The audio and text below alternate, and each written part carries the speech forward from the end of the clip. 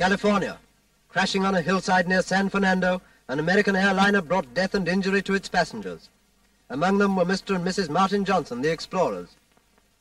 Mr. Martin Johnson has died from his injuries.